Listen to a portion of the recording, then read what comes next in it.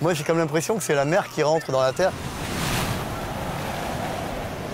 Un bras de mer euh, vers la terre. C'est la, c'est la porte d'entrée vers, vers le large. Ils ont tous une histoire. En fait, la première fois que je viens au Stade de l'Aune, c'est en 89, pour le premier départ de Vendée Globe. Pour moi, c'était un truc de, de malade, quoi. Je venais voir un spectacle monstrueux avec des fous furieux. Ils partent tous vers leur destin. Je rêve de course au large depuis que je suis enfant. Je suis tourné vers la mer, euh, vers la mer depuis que je suis, je suis gamin. Pour moi, Transat, Tour du Monde, c'est des histoires euh, humaines avant tout, quoi. J'ai l'impression que les gens se raccrochent à ces histoires. Transat Tour du Monde, pour moi, c'est une course à grande échelle. Donc forcément, euh, voilà, ça a une dimension assez exceptionnelle. Moi, Transat, ça me fait penser à, à l'aventure. J'ai fait 27 Transat, j'ai fait la, la mini Transat deux fois.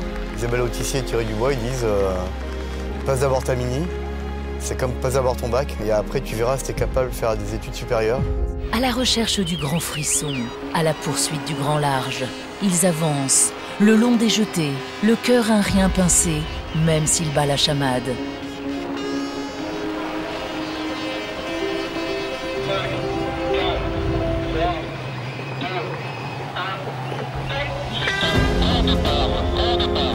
Ils nous font rêver.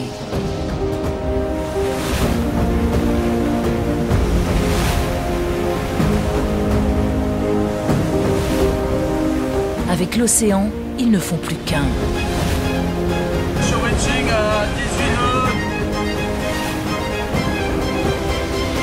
Il devient leur plus fidèle compagnon, mais aussi leur ennemi, hostile et lunatique. Je sais pas si c'est maso, c'est c'est forcément prendre des risques, mais ce sont des risques calculés. Mais, euh, mais ça fait partie du sport, ça, se faire mal. J'oublie pas les moments durs, il y a souvent des moments très durs, des moments de doute, des moments de- où j'ai pleuré, des moments où j'ai eu peur. Euh, C'est un truc extraordinaire. C'est pour ça que j'en pars. Ils prennent des coups, ils s'arment de patience et de technique pour mener ces batailles, parfois au corps à corps.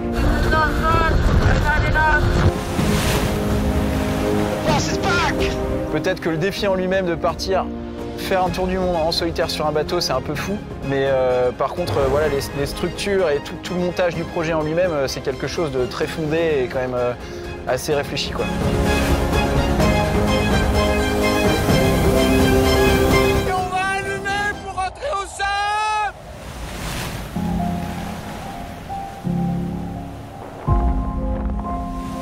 Je suis de toutes les courses, de toutes les grandes aventures.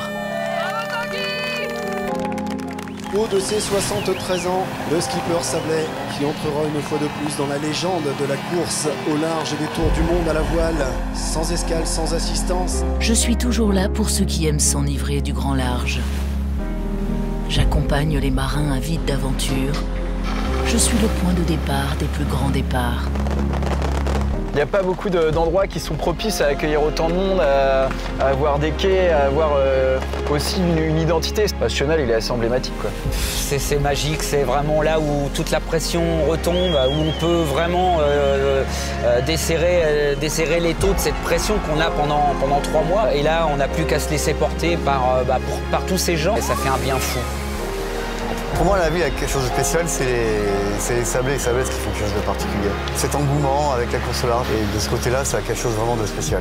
I love this place. I mean, it's really, it's perfect uh, start and finish for the race. There is no better place to start a, a offshore sailing race, I think, nowadays in, in Europe and in the world. Je suis le chenal, le gardien. Je suis les sablaises et les sablais. Je suis les Sables d'Olonne, capitale mondiale de la course au large en solitaire. Je suis la ville du grand large et des grandes aventures.